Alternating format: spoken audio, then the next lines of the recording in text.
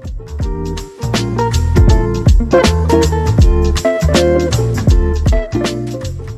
want to be in the video? Do you want to be in the video, my little baby dog? Oh, look at mush. Hey guys, and welcome to today's video. So today I'm going to be doing something a little bit different. I'm just going to be doing like a coffee tea chat thing. Today I'm drinking the orange bubbly sparkling water. I'm trying to get more into drinking sparkly water because I like carbonation and I haven't been the biggest fan of sparkling water before and I don't want to always drink like a Coke or a Pepsi or something soda-like, you know, like something that's a soda every time that I want the burn. Does anybody else like the burn of like Coke and stuff? It's weird. But yeah, so I'm trying this. I like it. It's pretty good actually. It's pretty refreshing. I really like White Claws and like alcoholic seltzers. So I think maybe like since I liked those, I'm kind of getting more into the non-alcoholic ones. So that is what I'm drinking. But yeah, today I'm going to be doing an assumptions, questions about me, get to know me a little bit, coffee chat video. So go get your coffee, tea, wine if you want to, cocktail. I don't really care. And I'm to drink my bubbly while I answer some of your questions and assumptions you guys have for me. My dog's staring at me. Anyway, so the first question is how old are you? I am 24 years old. I uh, don't feel 24, not that 24 is old, but I have realized that after I turned 21, I pretty much don't feel like my actual age anymore, which I guess is a good thing. Like I think I'm mature, which is good, but I don't feel like I'm getting older right now. I'm sure that that will change, but just a random fact. Next question is, what's a hobby you have outside of YouTube? I like to sing, play piano, write songs. Uh, I liked karaoke a lot. Thomas and I are VIP members at the uh, karaoke lounge down the road, and I have to admit that I really like going there. We're a regular of course, they're doing social distancing and all that kind of stuff. So just so you know, and they disinfect everything in between everybody's turn. But yeah, I really like anything music-wise. And anybody in my life who's actually in my life knows this about me. It's, it's just a thing. so the next question is, who's my favorite YouTuber? So I mentioned a couple of times who like my favorite YouTubers are on my channel, but my favorite YouTuber, I have a couple. I really like Jessica Braun. I've talked about her. I don't know. I just really, really like her and her vibe and her content she's really like chill. I'm always in the mood to watch her videos. Like I don't need to be in a specific mood to watch her videos. I feel like we're just friends hanging out. We'd be friends if we knew each other, I think. I hope. I also really like Taylor Wynn. Um, she's kind of got that similar vibe and she's a little edgy and I like it and I like her content. She tries out like a bunch of different foundations, which I think is awesome. She used to have really bad cystic acne, so that was helpful to me when my acne was really, really bad. I mean, I didn't have like huge cystic acne, like I had more moderate, but I did have consistent acne and she really helped there and she still does. I like all of her recommendations. I also really like Angie from Hot and Flashy. She's an older YouTuber. I hate saying older. I mean, more mature. All of it sounds offensive. She's just older than me. She's like 58 or 59 or something like that. She looks great for her age and I love her vibe because she's older. So she like has a family. She's really chill. She gives great tips and she tries all these different things like LED light masks that are different from like anybody else that I watch. And it makes me want to like try an LED light mask for maybe acne or something like that. So yeah, those are my favorite YouTubers as of right now. I have YouTubers that I like and watch a lot, but those are the ones that I consistently watch like every single upload every time they upload, right at the time they upload pretty much, or at least the same day or the next day. the next one is a little more personal. It's not overly personal, but it says, what is something you learned once you got married that you weren't expecting from marriage? I mean, I don't know. Uh, I guess like the fact that you have to make decisions together. Like all decisions. I mean, that is something that I knew, like I was cognitively aware that we were going to have to like, you know, make financial decisions together, life decisions, you know, we even make like where we're going to eat decisions together, you know, all that kind of stuff. But like, I mean, before we both got married to each other, like we were able to do that stuff by ourselves. So once we got married, it was kind of like, oh no, I have to like address this person about like a purchase I need to make or, you know, like how we're gonna pay for car maintenance or, you know, fixing our cars. So like I had my alternator go out and obviously that's not a cheap job. So we had to figure out how we wanted to pay for that. Did we want to put it on a credit card or did we not? Like I didn't realize how much we were going to have to, uh, like, uh, what's the word I'm looking for? We were going to have to,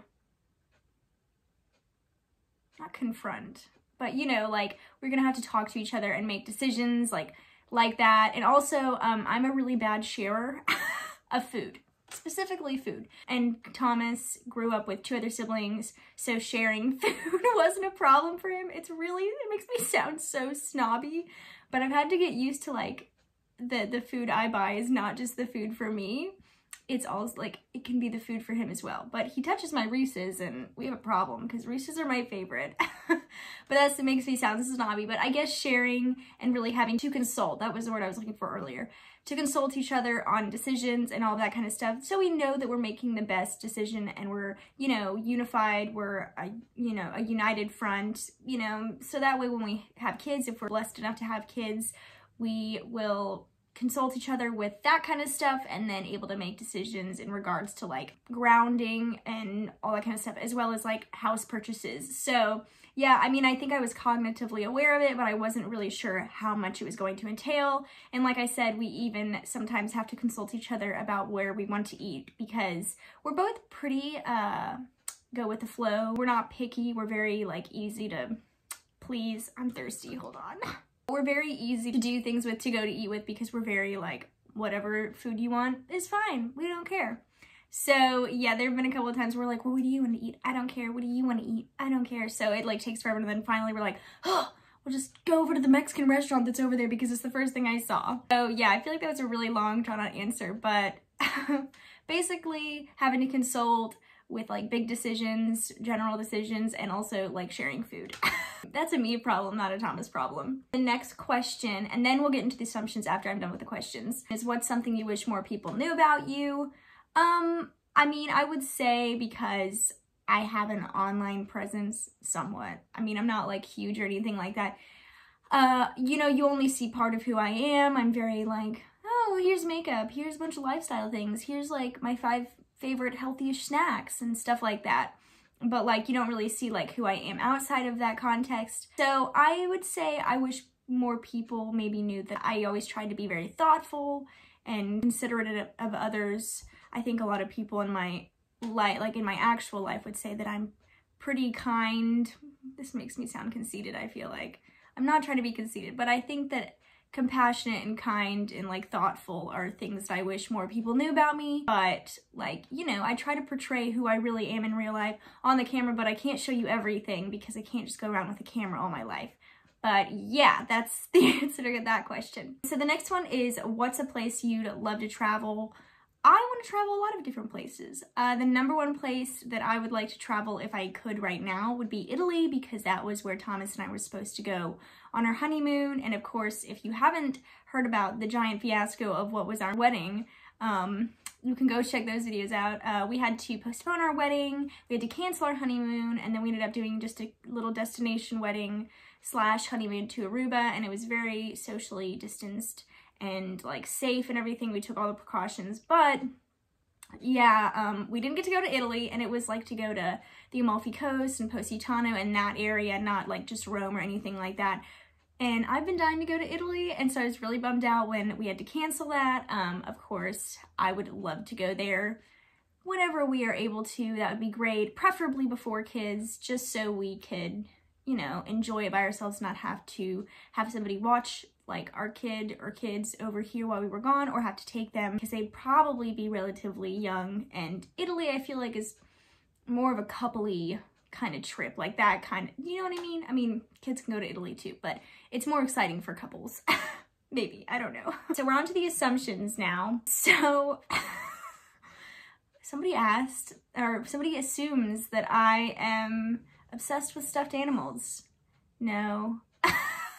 I'm guessing that she asked this because the first video I filmed when we moved back to Birmingham or Chelsea, which is an outskirt of Birmingham, uh, you could see a bunch of stuffed animals on my old childhood bed, which is over there now. I Those are gone, but like there was like a bunch from like my childhood. So I'm guessing that's maybe why she's asking, or maybe it's just a vibe I give off. I don't know. I'm not obsessed with stuffed animals. Um, I think they're fine. I used to be when I was little, uh, but you know, now I'm I'm more obsessed with real animals, but yeah. Next assumption is that I love dogs. True, I do love dogs. I have a little munchkin over there on the bed. I'll bring her over in a second because she's very cute. And I've got Macalis. I call, his name is Mac, but I like, you know, exaggerate their names sometimes. Like she's like Bebe, he's Macalis. Obviously that's not their names. I mean, you totally could name your dogs that, but that's, anyway, I got on a tangent. But yeah, no, I love dogs. Um, I'm not really a cat person. I don't understand cats. We don't, we don't vibe with each other. We don't understand each other at all. I've had really weird experiences with cats. Um, not like weird, but like I've cat sitted and like the cat like attacked me and it it was really weird and like jumped on me and clawed me and it was really weird. So I like dogs. I'll show you Bailey. this is Bailey. Um, if you haven't seen her before, I introduced her in my Vlogmas series that I did. She's mad because I woke her up from a nap. But she is my little girl. She is six months old now, and she really hasn't grown that much. Like, her head looks really big right here. But... but look at the camera, baby. But yeah, she is honestly the best dog. Um, I mean, Mac is also like the best dog because, but he's like been trained to be the best dog. She like pretty much came out of the womb like this. She's very sweet and cuddly and really well behaved. Um, we really haven't had to do much training with her because she automatically sat when she was born. She's very sweet. She doesn't bite. She doesn't chew things. She's gonna go to sleep. But yeah, she is the best. I love Mac, but he's outside and he's not very photogenic. She's not being very photogenic right now either, but she usually is. You want to go back to sleep? Thanks for being in my video. I love you. So yeah, I love dogs. so the next assumption is that I'm really into doing makeup. True.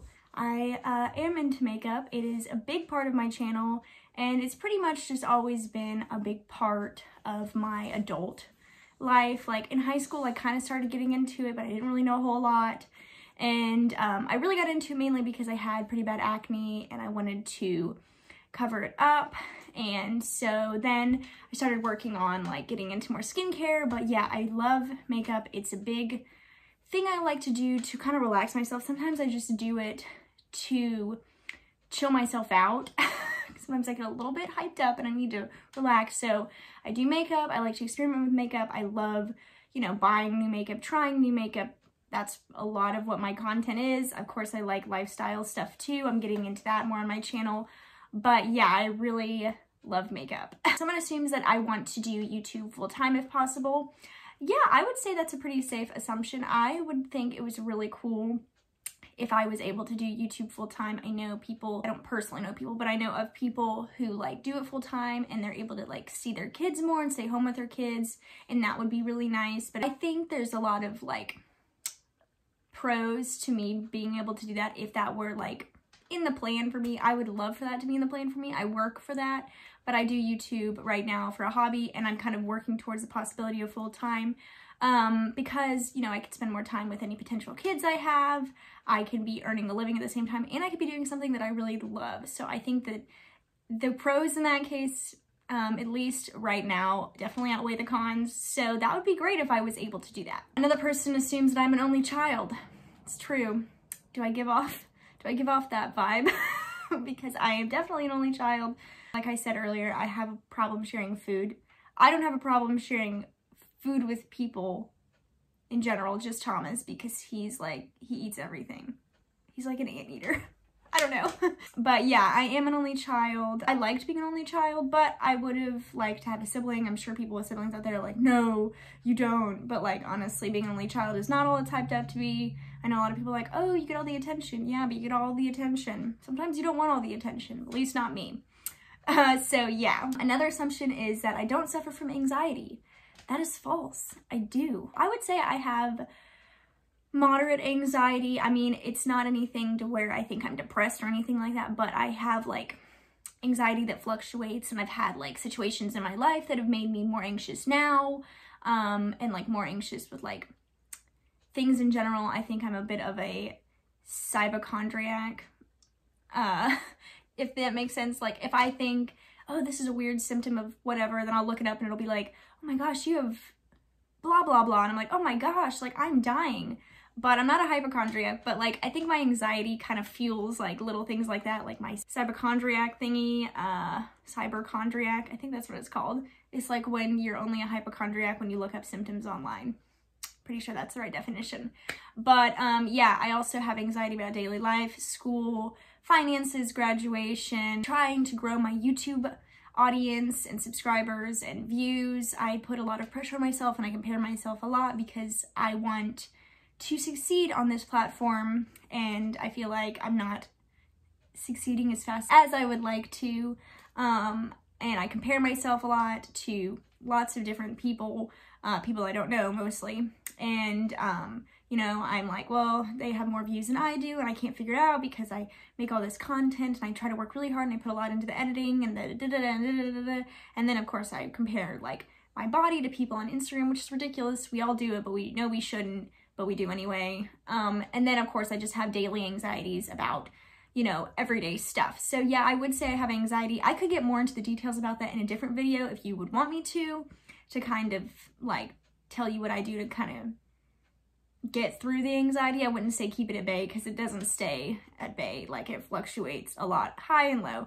But yeah, if you wanted to see a video about that, I would gladly make it for you, but I'm not going to talk about it too much in this video but yes, I actually do suffer from anxiety. Somebody else says that I want lots of kids. Although I would count it as a blessing to have lots of kids, I only want two.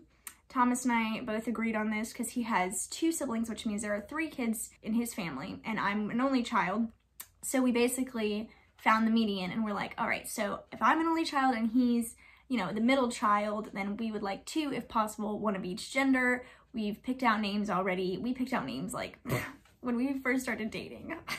we didn't think we were gonna get married or anything. I'm glad that worked out for us.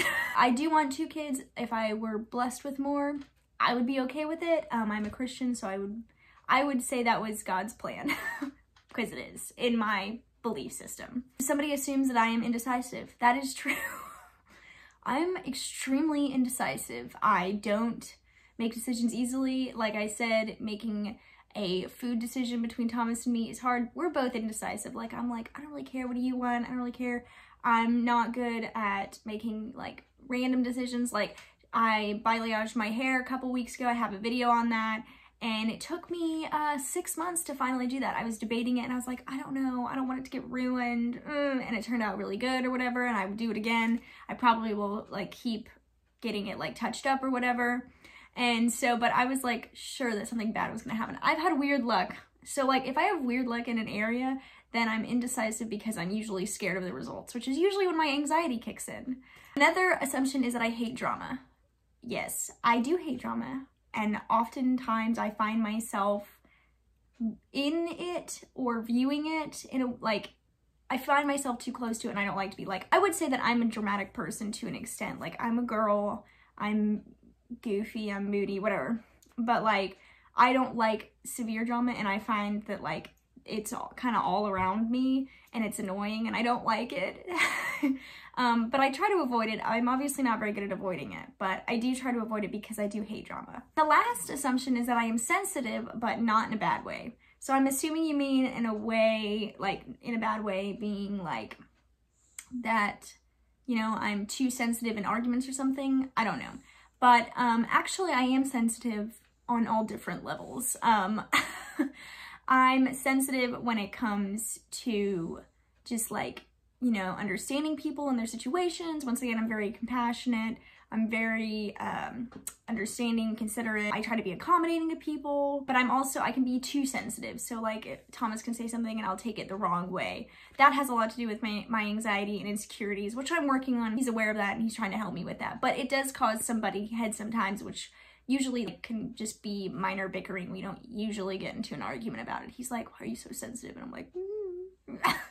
But uh, yeah, I can be sensitive in all areas in a good way, in a bad way. I hope you guys liked this video. If you did like this video, please give it a thumbs up hit the notification bell down below and please subscribe to my channel if you're not already. And if you do want to see more videos like this, please let me know in the comments. And by the way, I always forget to say this, make sure you're following me on all of my socials, Instagram, Facebook, and TikTok. Actually, I am on TikTok. I'm not very good at it, but I'm trying to figure it out. But Instagram and TikTok is at Monicanna96 and then Facebook is Monica Northcutt. I put those on the screen at the end of the video so you can see those. I hope you guys have a great rest of your day and I'll see you in the next video.